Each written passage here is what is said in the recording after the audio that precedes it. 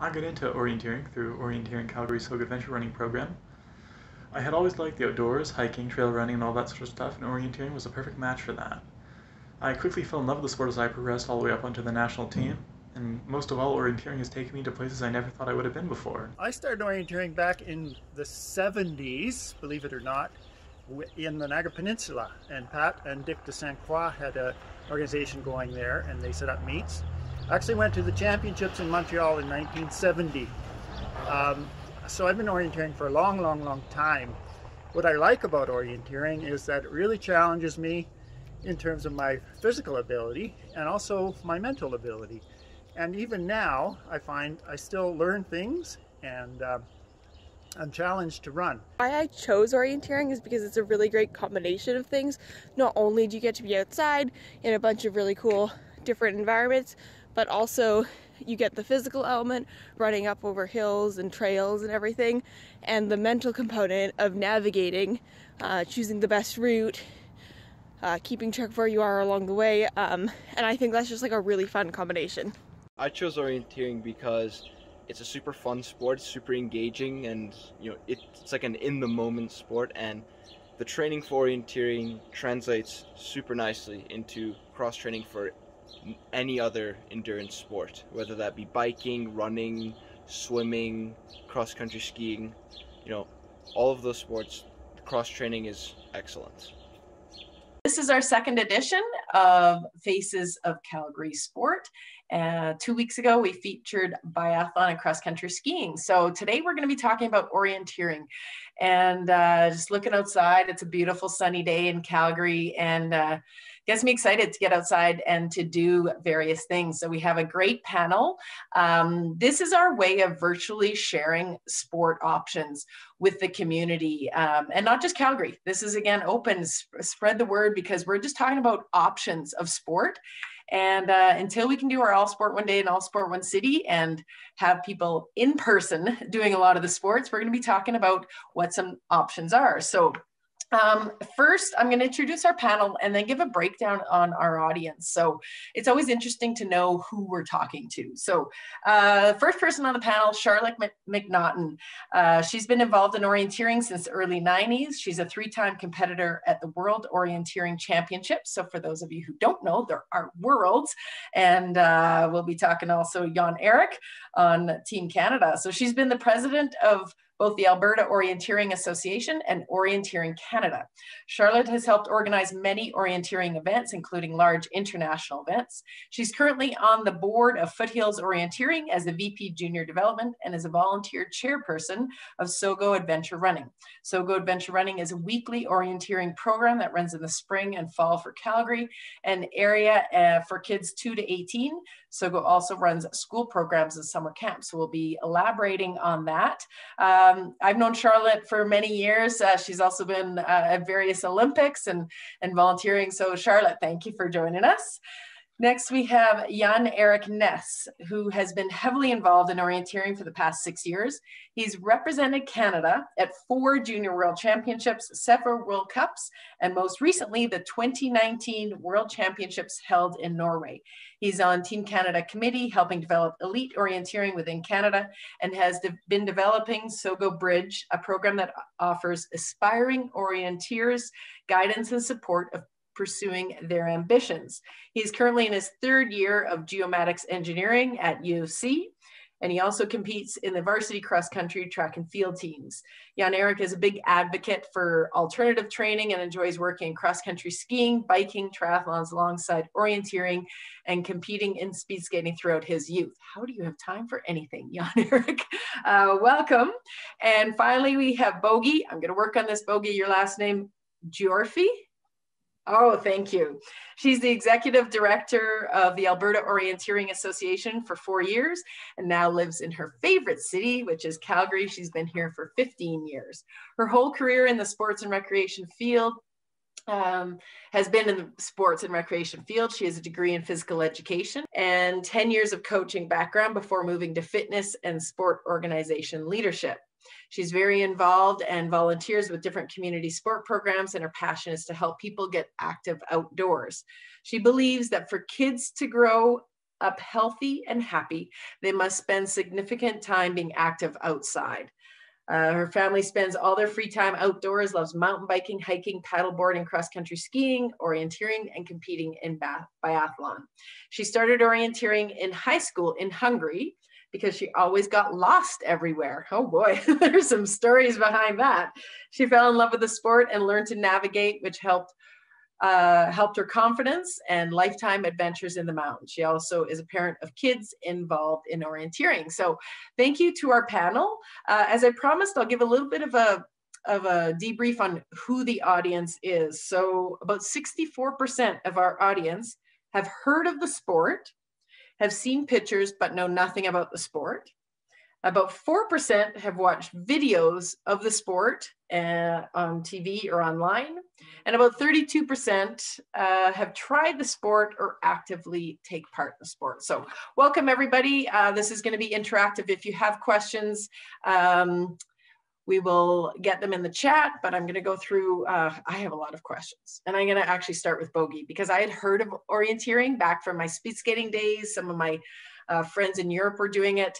Um, but can you actually tell the audience, can you describe what is orienteering? Uh, orienteering for me um, and most of people, it's a really fun outdoor activity. And really um, think about when you go a trail run or a hike, but you're actually going to get a map and you have to make sense of that map. And on the map, there are mark, uh, marked spots and you have to visit them. If you're competitive, you, of course, you're trying to do that as fast as you can. If you're just trying to make sense of the map, of course, you just spend a lot of times wandering out and having a lot of fun with it. But it's a sport in Europe very popular. Um, in the Scandinavian countries, there are actually events which attracts 20,000 people. So uh, it depends on where you go um, and what you're looking for, you find your outdoor adventure. Uh, Charlotte, I'm going to ask you um, because you've you've competed, you've been involved. Um, you also uh, have so many programs that are involving kids. Uh, Bogi talked about, you know, having this map and finding your way. Um, that will intimidate right there. I mean, the reality is that will intimidate some people like myself because I, I don't love maps. Um, you know, I want I want a sign with an arrow. So, um, you know, can you can you elaborate a little bit on sort of just how then even kids get involved and, and how people who, you know, some of our questions from the audience are, I'm not great with directions. So can, can you elaborate a bit on that, on, on how people can sort of enjoy that?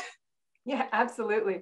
So, so some people come to the sport because they truly love maps and, and just that's their thing. And other people come to the sport because they want to develop those skills. And, uh, and what's interesting, I mean, there's different ways to start the sport. So maybe I'll back up to say, in order to orienteer, you there there is a specific map that's made just for the sport, and it's super super detailed. It'll have trees and rocks, like a, a really really high level of detail for the sport, and and you you might do the sport in a city park or a university campus, or there's lots of orienteering events that are in more forested, remote areas. So I guess my first suggestion to that is if, if that whole sense of direction is intimidating for you, start it in a city park because yeah, yeah, can't go too wrong, right?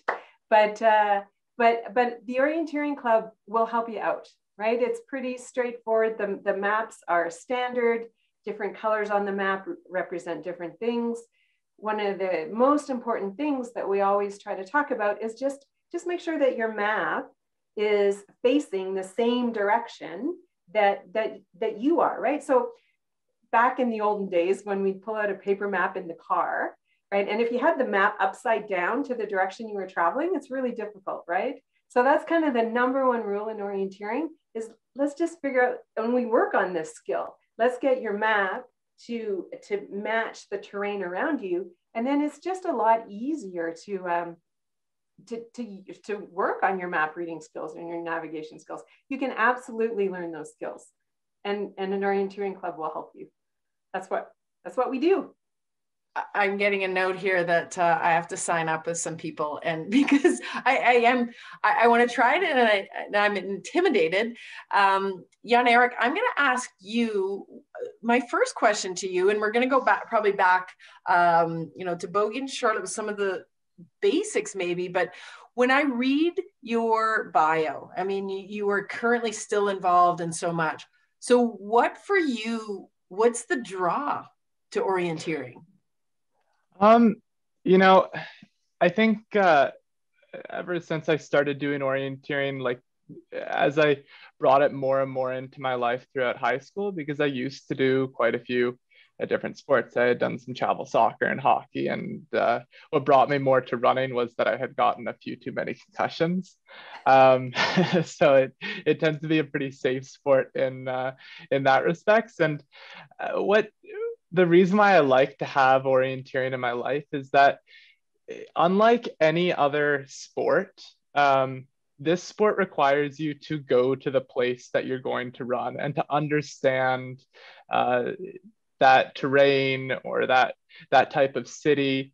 You know you can go to these beautiful old towns in switzerland and you have to understand that the routes are going to be really really tricky because you're no longer in a a rectangular block place like uh, in Calgary or in the suburbs. And and instead you're running along churches or maybe there's a bridge that you're going under. And then uh, if you're going to go to some other cool races because there are big five day events of like you race half an hour each day for five days uh, and you can go to Switzerland or France or Sweden and you have to learn that terrain beforehand because it's totally different. You can imagine yourself going out into the prairies versus going to um, to the jungle or going to the mountains and the forests that you think of when you hear those sounds are totally, totally, uh, totally different. So I just it's a constant adventure and it's it's so beautiful to have that in your life.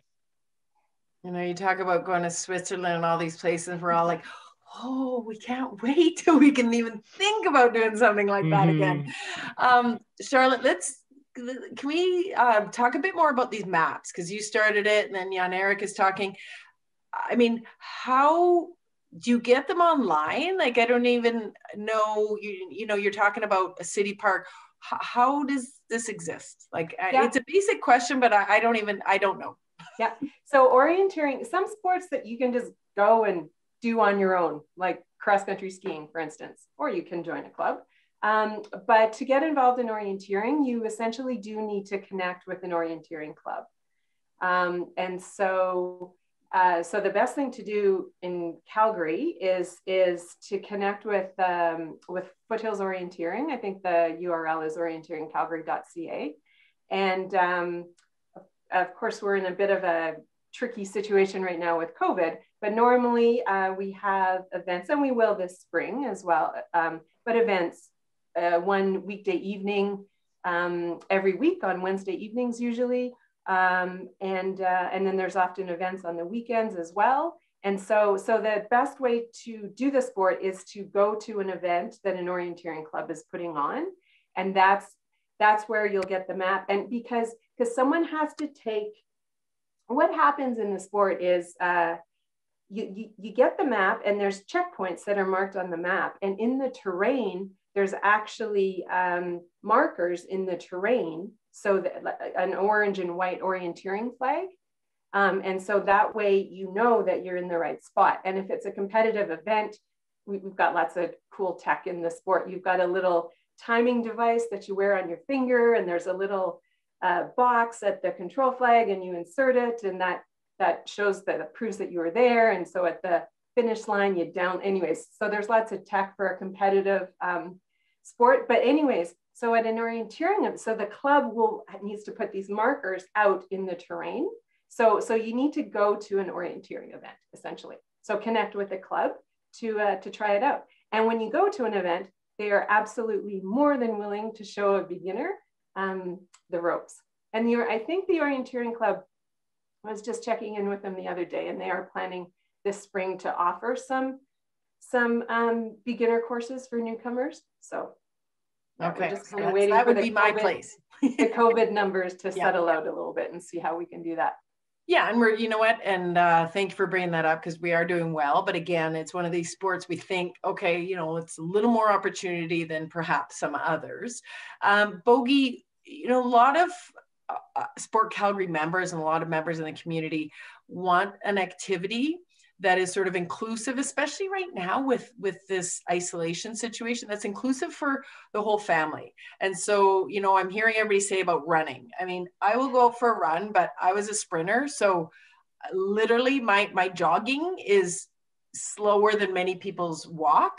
So you know is this sport available for for people if they if they're not good runners? Um, and how about the accessibility side for people with disabilities? Bogi if you could uh, elaborate on that, that would be great.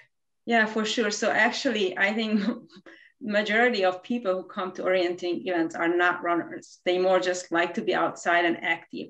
We have a large uh, number of uh, uh, senior population too, and most of them walk the course. We have families, so you can come around with your five-year-old, pick up the beginner course, and walk one kilometer, and it's really mo- motivating for the kids to go um, along because it's like for them it's like a treasure hunt.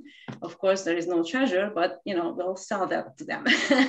Uh, and also if you are an adventure racer or, or just want to have a really good run you can come uh, eventually develop your skills. You can pick up the advanced course and run a seven eight kilometer course um, which is really really engaging.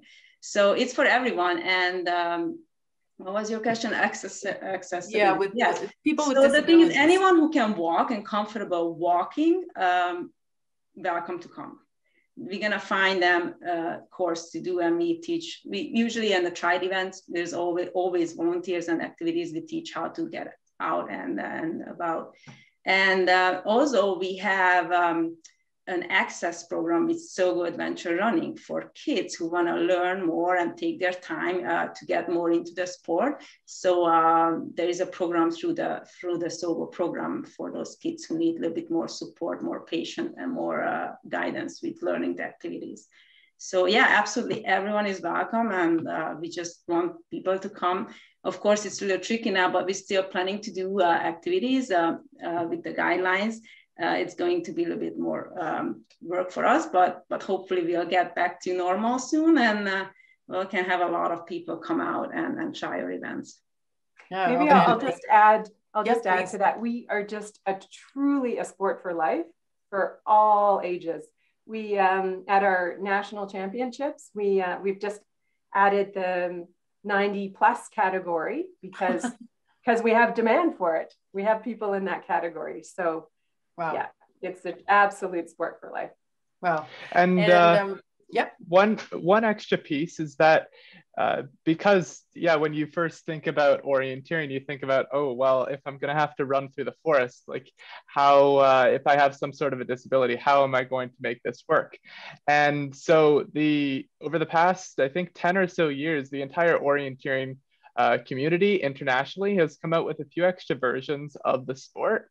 Um, and I think that we're we're adding a few of those bits here. And so one of them is where instead of having to run to these checkpoints in the forest, there's a course that you're just going to go on a gravel road and then you have to pick out the, uh, it's called precision orienteering. And then once you get to a certain location, you pick exactly where it would be. And so it it adds an option for when you have the rest of the family that's running out in the forest. Um, maybe you have a grandparent that still wants to be there and do a little something. They're able to, to do that. So there are other accessibility options. Okay, great. Thanks, guys. And so just so everybody knows, we will continue um, to follow when things are available. Um, the the crew here will let us know and so we'll post that and, and spread the word. So um, you know just continue to check in with us. If you check in the chat the foothills orienteering website um, has been posted on there and we will uh, have everything on our website sportcalgary.ca after this session. Um, jan erik there's there's a question here. Um, how oh how can this skill how can it be elevated to a competitive level and yeah. like how hard can it be um so actually yeah, to actually map it's it's a good question um so the way that i think about orienteering um is I think of it as it's a cross country race. They're the same dis- the same winning times, just a little bit of a lower distance because you're not going to run as quickly as you do through a forest as you would um, as you would on grass, like a regular high school cross country race. And the only difference there is that you're going to need to navigate to each turn. And so you go from the start to the first checkpoint to the second checkpoint, and you have to do that in order. And and orienteering what's special about it is that you don't have to be an incredible uh, runner or have an incredible cardio to do well because you're running through the forests or you're running through um, through the cities and there's there are different route choices that can happen. You can maybe you decide that you're going to go over a hill and someone else goes around it and so just in there there could be a 10 second difference in that control and if you have 20 controls over a race and it's like a five kilometer race then depending on if you pick the right route choice uh, it can add up to you winning or losing by minutes. And so you can make up time on maybe your friend that was a really good runner, but uh, not so great at picking all the right route choices and things. And and that's what's really special about it is there's such a different uh, combination of of natural talents that that come into being a good orienteer. All right, so strategy involved. Um, we'll we'll get to we have a ton of questions. We'll get to uh, those in just a minute. Um, we're going to show you a video, and uh, yeah, we apologize for that first one that it was just audio, but this one is why you like orienteering. So take a look. My favorite part of orienteering, apart from all the amazing people, is how you can't just shut off your brain and mindlessly run. You have to think about what you're doing and be alert. This helps break up the monotony of running because you have something fun to do as you go, rather than just pointlessly grinding out the miles. Right, so orienteering is a wonderful sport for young people and for old people. And one of the things that my wife Gabrielle and I love to do now is to coach the younger people in the SOGO program, which we're very proud of. We've been doing this for probably uh, 10 years, while the SOGO program and before that the junior program. The chance to share our skills and to get out there and run around with the kids is just a fabulous thing about orienteering. One thing I really love about orienteering is the community. We're just a whole bunch of really down to earth, little bit nerdy people who love maps, but just like a genuinely lovely group of people of all ages, uh, lots of families. Um, and every time I get to go to a competition or a trading, um, training camp or something, it's really great to see my friends from all across Canada and even friends from different countries. Um, it's just always one of the highlights for me. My favorite part about orienteering is compared to normal running, it forces you to engage your mind. You have to be in the moment, you have to be present, you have to be focused. And because of this, you know, because it, you have to think about where you're going, you know, where your next control is, it doesn't mean the fastest runner wins the race. I mean, yes, you have to be, you know, if you're going to compete in a high level, you have to be a good runner, but you also have to be a really good thinker in order to succeed. Bogi, one of the questions that has come up, and then it just uh, made me think of it again in that video is, uh, what is SOGO? I mean, there's, you know, everybody's talking about it. What does that stand for? Yes, so SOGO is the youth program in Calgary, and it's uh, the Foothills Orienteering Club uh, youth program. And it's been very successful introducing kids to the um, outdoors and adventure running, and uh, it's it's very popular. We used to have uh, close to ten, uh, uh, close to a thousand kids every year in the program, and it's super fun. They run in the parks every. Uh, there is a different parks every night in different uh, part of the city, so it's more accessible for any part. And um, yeah so uh, it, if you have a you have a child who loves to be outside or you want to get them to like outside if you want to give them i think uh, my kids are starting to do orienting to so i feel comfortable when they do their outdoor things. So if you if you're anything um, interested in that aspect i could highly recommend uh, because they're to have so much fun with it just running out there and and having a blast and meanwhile not even noticing they're learning a lot about navigation maybe i can jump in and talk a little bit more about sogo it's um so this this we actually just opened registration this spring so we are doing we normally, it's normally a six or an eight week session, depending on the age, once a week for an hour to an hour and a half in a different city park. So we are doing it this spring. We're just, our numbers are way down because we're limited to the groups of 10. Um, and we start, SOGO starts at age two and goes all the way up to age 16. So, so for our preschool group, we've got uh, SOGO Sports, and um, and that's just all about developing physical literacy skills in the outdoors and getting little kids just comfortable with being outside. And like mother nature makes for one pretty amazing obstacle course right? And so so that's what our SOGO sports is about is just moving your body in a natural environment. And lots of fun games and stuff like that and then starting at age six and up we've got our levels one two and three and so those each week you're working more on your map reading skills, your navigational skills, just fun outside games, a little bit of uh, fitness and endurance. And so, and it just, as you age, you'll, you'll go through the different levels and then, and then we go into our SOGO bridge program that Jan Erik is involved with. And that's a bit of a, that's a link for our level three kids who are actually interested in taking the next step and potentially competing at the junior world championships or something like that. So that's so we've got we literally have programming from two to uh, to 18 in Sogo adventure running. So quick question on that, Charlotte. So I have a 16 year old daughter who's two months from turning 17. Um, you know, and this is something she would love, and especially ringette was canceled, right? Field hockey might not happen. Um, you say that to the 16. So is that you know is it a sport and because it's a tough age especially for a teenage girl do they do they join that or do they wait and do sort of the adult side or you know because there might be a lot of viewers who have kids in that age who are who are kids who are a little bit intimidated mm-hmm.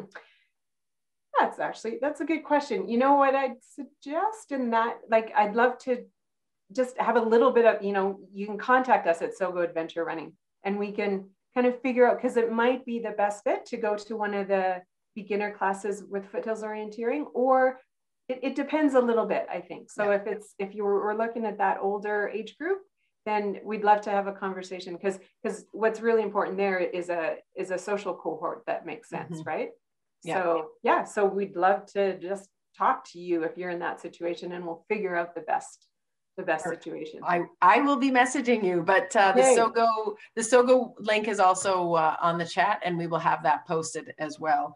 Um, you know, we we know how even Calgary, an area. I mean, we have incredible outdoor spaces.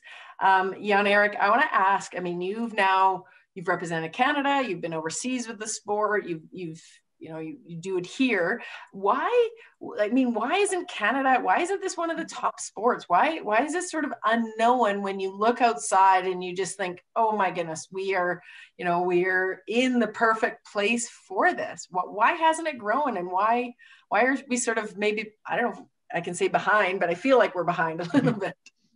Yeah yeah. It's um it is ironic because Canada has the most wilderness for uh, per population, really for for anywhere, unless you're trying to compete with Russia, um, and and that's one of the things that's that's special about uh, how much orienteering we have in Calgary, is that it it tends to be tough to uh, to make it grow in smaller towns and things because you need the maps and you need the terrain to be able to run on them.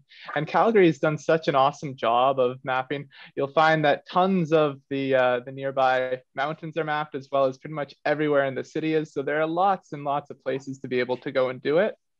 And then, uh, but when you compare that to um, to over in Scandinavia or over in Europe, they're much more densely populated and they're surrounded by forests and they also have uh, they have laws where you're you basically automatically get a permit. You don't need a permit to go run, um, and so there's just a less of a barrier of entry over there uh, in order to to be able to do this. And so foothills and and really the the whole scene over here is wonderful. I'm actually right now I'm in Chicago. Uh, that's where my family lives, and I'm home uh, just studying school here. And I think that's one of the pieces I miss the most about is being able to be in Calgary because we have quite a few accessible maps. You if any of you are in Calgary, you probably know of Nose Hill Park. We have the whole thing mapped, and that's where we love to do quite a few of the SOGO Bridge trainings. Awesome.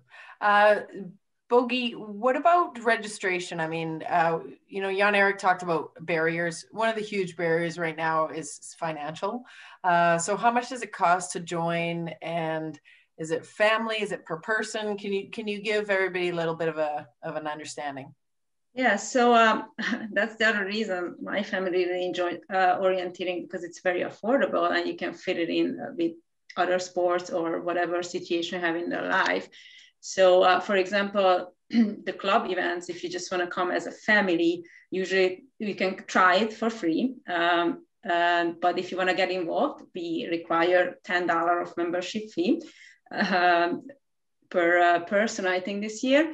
Um, the maps sometimes cost a couple bucks, uh, five to 10 bucks, depending uh, on what events you involving, um, just because there's cost to make those maps and print those maps.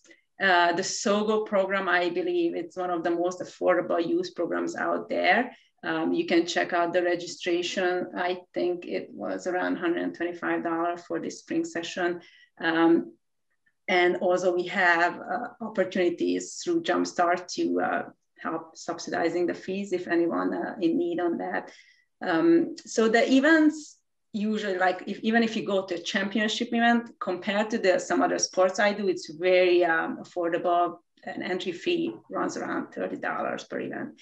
So um, I think it's it's a really great way to get active and not gonna break the bank for sure.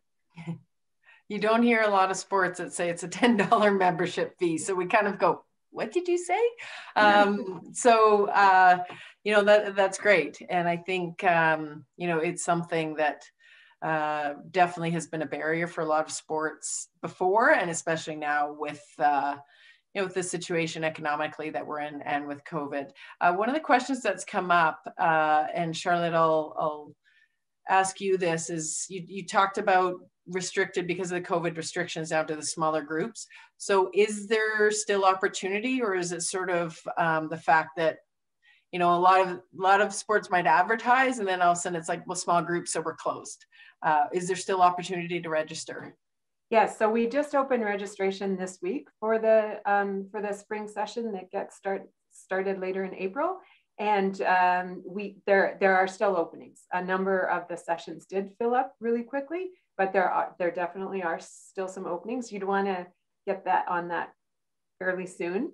Um, and if COVID restrictions allow, we will we'll open our numbers as we can. So, but yes, I'm just looking on the website now, and there's still some sessions available. Okay, great.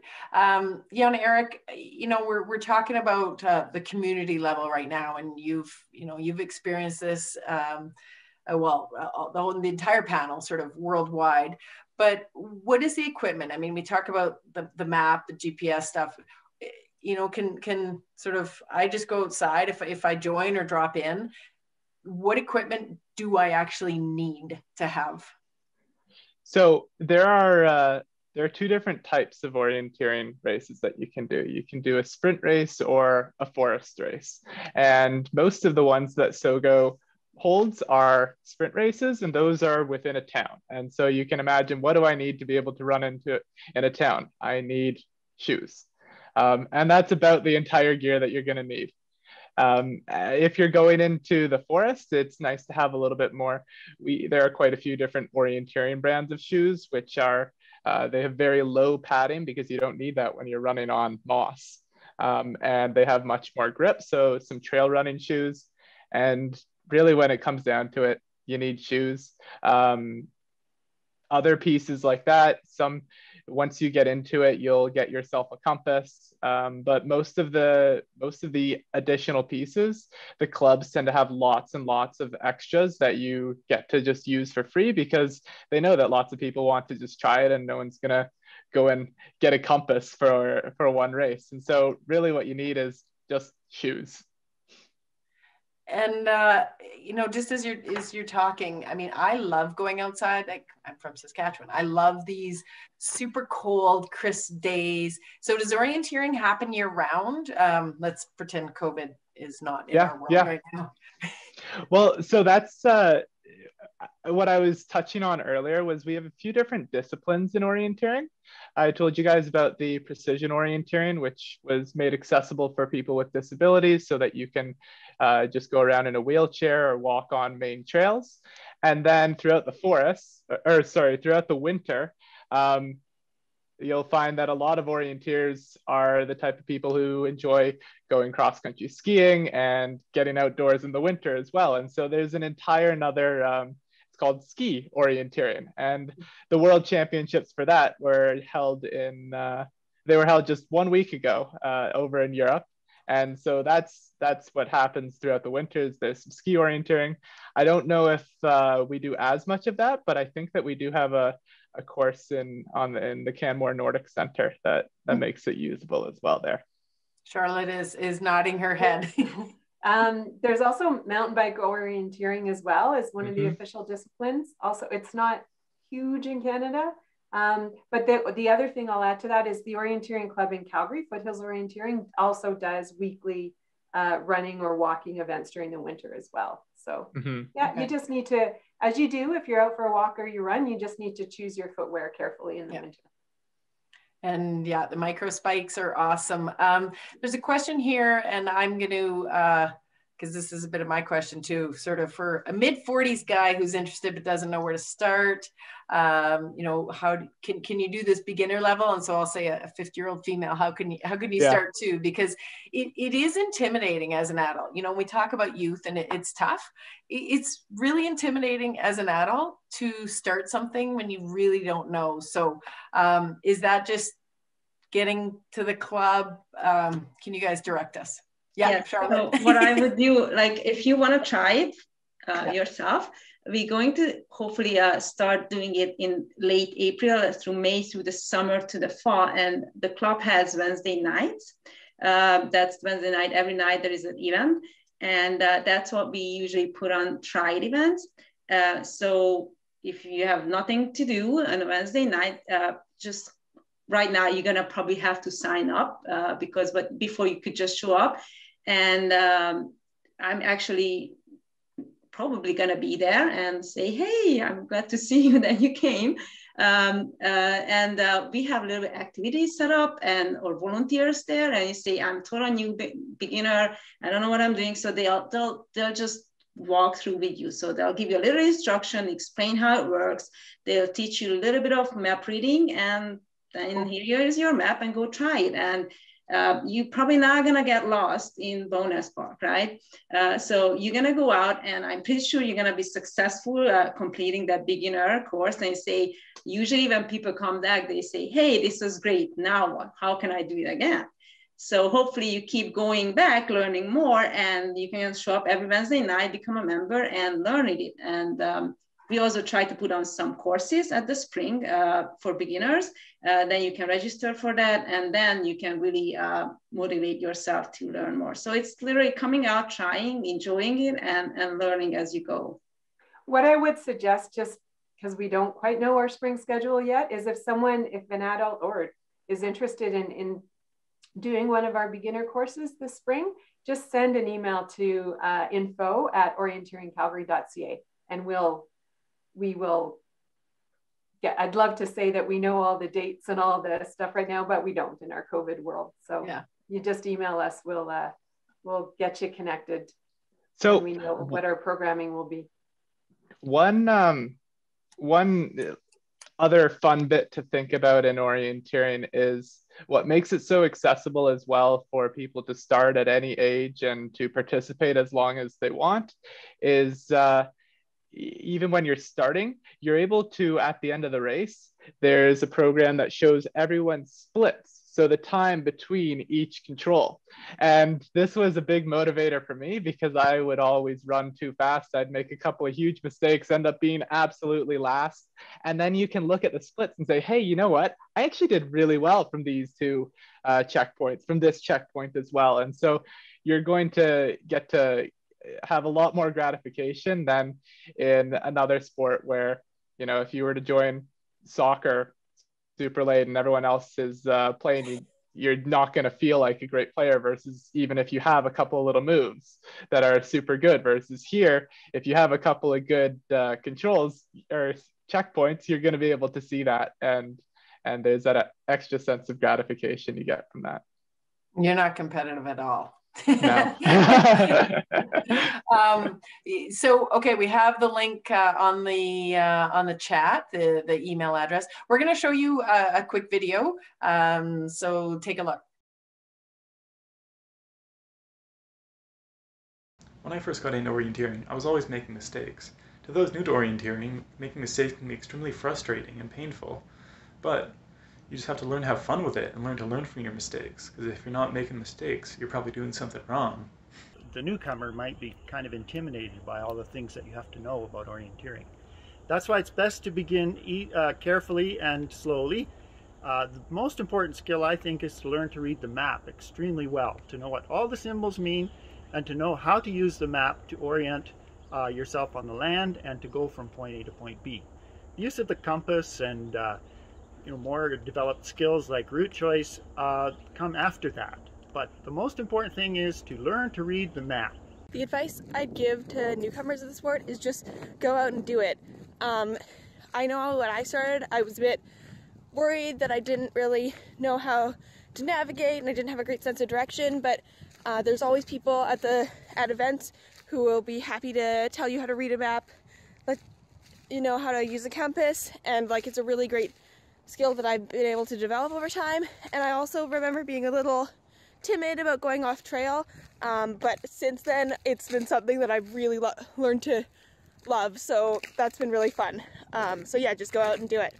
My best advice for you know first timers, people who are just getting into it, is don't rush. Just take it nice and slow and enjoy the experience. Orienteering is a super fun sport.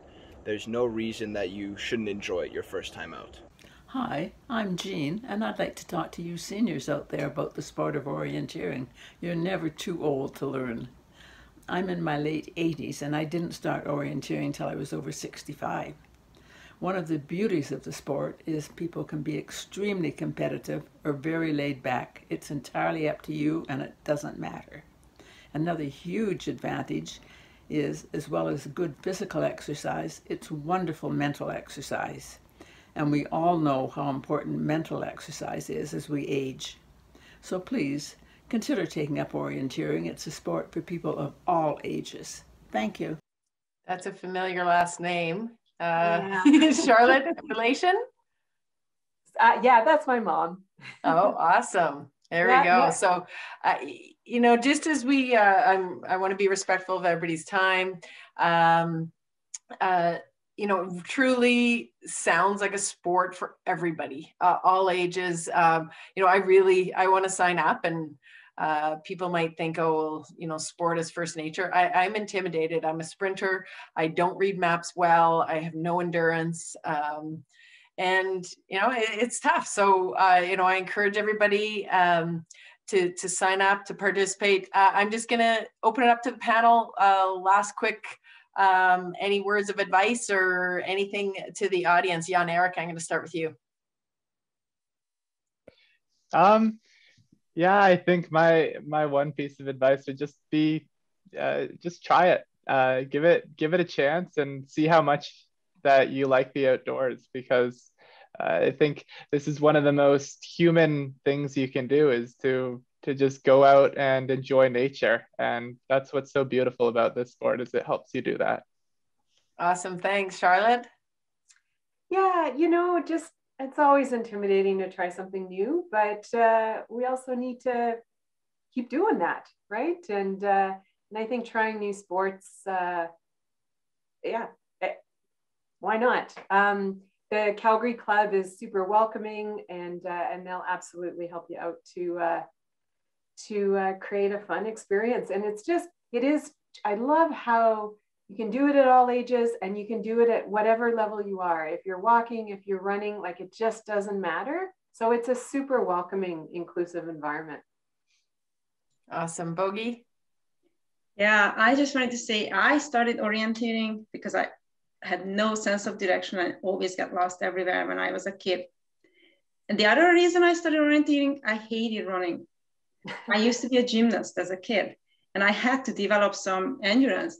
So for that two reasons, somebody told me to join orienteering, and I did. And here I am, you know, 30 years later, pitching for the sport. So actually, I learned to orienteer. I don't get lost anymore, and I love running. So what can go wrong? That's actually a good point. Some people just love orienteering because your brain is so busy navigating that you kind of forget about the physical part yeah, of it. Exactly. Yeah, yeah it's a lot of fun a combination of, of mental and physical. Um, so we want to thank thank you to the panel. Thank you, Charlotte, Bogi, Jan Erik. Um, thank you everybody for joining us for this second edition of uh, Faces of Calgary Sport. This will be posted on our website as will the videos and all the links that you need in order to get more information. Um, so we will have our third uh, edition of Faces of Calgary Sport on March 25th, and we will be featuring pickleball. So um, again, sp uh, sports that uh, you know have a local connection, clubs, and we will have more information, more conversation. Thank you to the panel. Thank you everybody for joining us. Everybody stay safe. Um, you know we're gonna get through this, uh, but sport will be part of our recovery. And so uh, enjoy. Any questions, uh, contact the, the team, the panel here, and contact us at Sport Calgary. We, uh, we want to be the voice of sport and we continue to help maneuver through this tough time. So thank you, everybody. Have a great rest of your day.